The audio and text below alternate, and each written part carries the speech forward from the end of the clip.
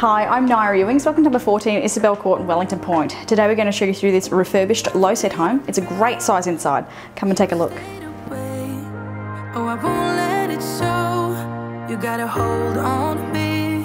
I remember the sound of us being loud. So loud, so loud. Just wonder where you're walking and talking. Thinking,